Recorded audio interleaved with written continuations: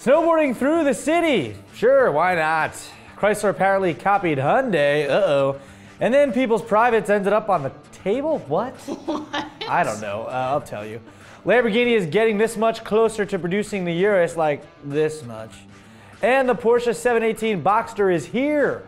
Also, it's hump day, so we shall enjoy what the FLD comrades have posted for our midweek segment, Friends Day Wednesday. That's right. Oh. Oh, hi oh. Hello, everyone watching. I'm Derek D, and this is Fastlane Daily. Thanks for stopping by. Yep.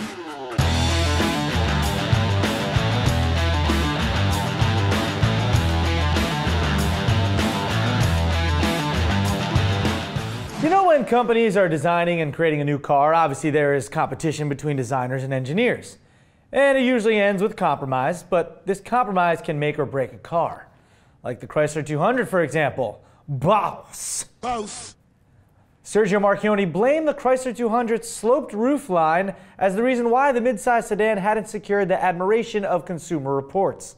I mean, sure, it looks pretty good from the outside, but inside it's an issue, especially for tall people sitting in the back, not a lot of headroom. Marchionne also said that the Chrysler 200 faces these problems because it copied Hyundai. Hyundai. Yeah. Yeah, straight That's up. how you say it. Yeah. Here's what he said, quote, "The Hyundai which we copied, presumably the Sonata, has the same problem. We, we didn't copy the car, we copied the entry point to the rear seats. Dummies. I acknowledge it. Some people from design left some of their private parts on the table after we came up with that determination. Uh, what? What? What? What? Dude starts starts off talking about sloped roof lines and people's P's and V's are being left on the table. What's going on over there, Chrysler? Make a mistake and you get your junk chopped? Jeez, relax, Sergio. Seriously. We get it. You copied a little bit of a design. No need to. Yeah. Oh gosh. Right? That was violent. Yikes. Two decades after Porsche introduced the successful Boxster, Stuttgart isn't just changing the name of it to, 78 to the 718 Boxster with the updated model, but also the engine. They're changing the engine. A turbocharged four cylinder, that's right. Porsche's entry level Boxster Roadster and Cayman Coupe will have 718 attached to their name, which is reference to the 718 mid engine sports cars that won numerous races back in the 1950s and 60s. The regular 718 Boxster will get a 2 liter turbocharged flat four producing 300 horsepower, while the 718 Boxster S will get a 2.5 liter 350 horsepower. Uh, in the 718 Boxster, zero becomes 60's best friend in 4.5 seconds, and the Boxster S can do it in 4 seconds.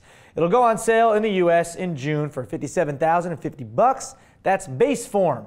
And then you could throw down $69,450 for the S model. That includes destination. Hey, I'm not mad. I mean, pretty sure Porsche knows what they're doing. Four cylinders are nothing new nowadays, folks. Getting a lot of power out of those little guys. Big time. Yeah. The start of production for the Lamborghini SUV, the Urus, is still a couple years away. But hold on a second. In Santa Agata Bolognese, preparations for the company's third model have already begun. The existing 80,000 square meters production site will almost double in size to 150,000 in order to accommodate the new assembly line for the SUV. Lamborghini production is expected to double at approximately 5,000 to 6,000 vehicles annually once the Urus will join the lineup in 2018 as the third vehicle, along with the Huracan. Oh, that's nice. And the Aventador. That's right. There you go, three models. Okay. Three new models. Not new, but the Huracan's new. Northeastern snowstorm, the northeastern snowstorm Jonas, made it pretty hard to get around this past weekend here in New York City and Jersey, but not for filmmaker and YouTuber Casey Neistat. Neistat, I say his name right? Neistat? Sure. Casey. Casey Neistat, yeah. He hooked up a tow line to a Jeep Wrangler and snowboarded through New York City streets. Had a skiing buddy join him as well. Pretty cool, but you know what? That's nothing new. I've done this before, as I'm sure many of you have. I just didn't do it through New York City or have multiple camera angles and a drone to get some sick ass shots.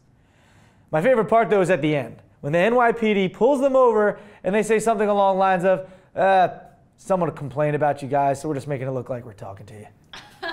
yeah, which I thought was pretty cool of them. So that's pretty awesome. I mean, they weren't breaking any laws. Well, technically you were. You're not allowed to do that. And then there was also a ban on driving on the streets. Was there? Pretty sure, yeah. Yeah, there was. Classic. But you can't really snowboard on the streets during traffic hours, which I mean, yeah, pretty hard to do. pretty hard to do. Uh, when there's no snow, really hard to do. Exactly. Okay, we're gonna go ahead and hang out with some FLD fans for Friends Day Wednesday. First, real quick, let me just say, get well to big FLD fan uh, at West Ride. He tweeted us that he was in the hospital with pneumonia, but said he's still watching the show, and there he is in the hospital. So get better, Wes. That's all right? dedication right there. Yeah. Uh, you guys know we use a lot of pics uh, that you send in of wrong, terrible badges on cars. Like, take this Acura RSX Nissan 370Z Nismo edition, sent in by Andrew Moreno. Yeah, that's terrible. It's not real. Why would you do that? Makes no sense. Disgusting. Yeah. Well, FD fan Christopher DeCaro here came up with a great term to coincide with this phenomenon Uh oh. douche badgery. Oh man, that's great. Douche badgery. Good job, Chris. Much appreciated. We will use that from now on. Now, the complete opposite of douche badgery is when someone does something clever, like this. Yeah, Sega Genesis. That's right, on a Hyundai Genesis. Sega Genesis was my console back in the day, boy. 16 bit and all. Yep. Sonic the Hedgehog, Sonic, he can really move. That's right. Anyway, thanks to FLD fan Fred Lorman for that one. Sega Genesis. Also, I don't mind this, this BMW truck. It's a project car that FLD fan Ray Molina, right here, he's putting together. It's pretty interesting. It's like a 3 Series in the front and the pickup truck in the back. And once it's all painted the same color, probably it'll look pretty cool. I mean, it's weird, but it's, you know, he's building it, so good for you. Uh, the Detroit Auto Show just ended. So, of course, we get some fan pictures with the lovely Fiat model Megan. Fiat model and spokesperson Megan. Uh, Yeah, she knows her stuff. Here's Ben Snyder with a Hoonigan shirt on. Nice. Little pick with Meg. Also, Cesar Cesar Perez snapped a pic as well. Yep, Meg's a babe. Truly is. Glad you guys didn't do the old hover hand. You oh, know? that's so awkward. Yeah, they didn't. They went for it. You got to always go arm for it. around, yeah. Yeah, little advice to you guys out there: never do the hover hand. Always just go for it. okay? But keep it in appropriate uh, Appropriate part on the location. Don't put it on her ass. Nope. Also, Tommy Bitterman took Detroit uh, took Detroit Auto Show rug testing duties from me this year, and ben, there he is. He- Yeah. He said it was very comfortable. Oh, Glad to hear because we couldn't make it this year, so it's good that people are out there you know, doing this stuff for it's us. It's important. It is important. Um, if you were wondering if your flight is canceled, well, yeah, this truck said it is. Oh, Yeah, right in the back. Flight's canceled. amazing. Flight's canceled. Thanks, FLD fan John Thornton, for that. Yeah, your flight's canceled. Next is Chad Lakshman. Chad Lakshman. He sent us an email with a link to this video.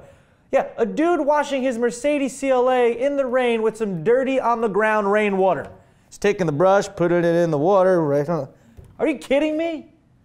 Dude, I mean, that's a doing it wrong right there. Yep.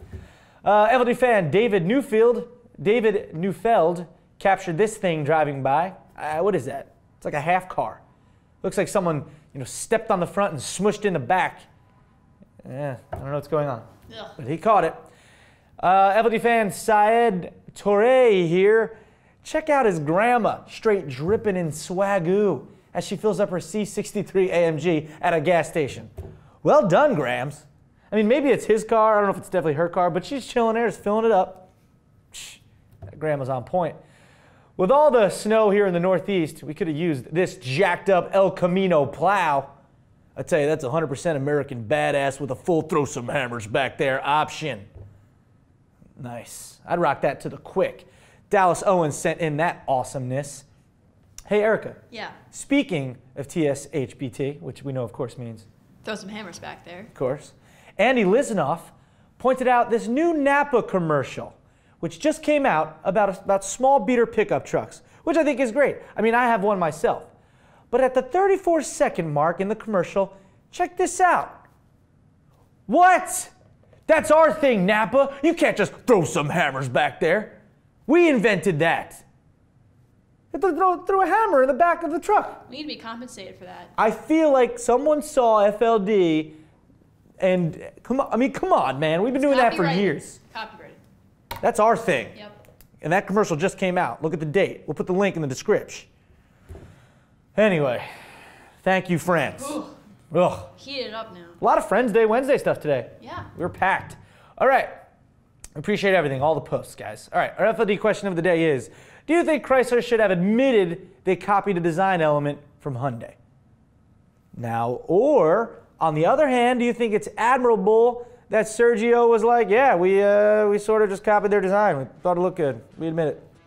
And then people's private parts ended up on the table. I don't know. Honesty is a great quality. Yeah, it is. I don't know. Hashtag FLDQ of the D. Let us know what you think. All right? And you can send your own in to. Tips at fastlanedaily.com. Thanks, Tom. We got a digital AK. Uh, yeah. Is he here? Tips at FastlingDaily.com. Sweet. It's a twofer. All right. Well, half this week is over, and so is this episode of Fastlane Daily. I'm Derek D. Thanks for watching, everybody. And we'll do it all again for you tomorrow. Mañana. Yep. What's tomorrow in uh, German, Tom? Uh, I don't remember. Hey, Napa Know How. Napa Know How to not copy Fastlane Daily with throw some hammers back there. I think that's the tagline, Napa Know How. Right. Yeah.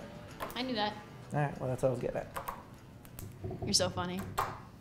Ow, we're living in the fast lane, baby.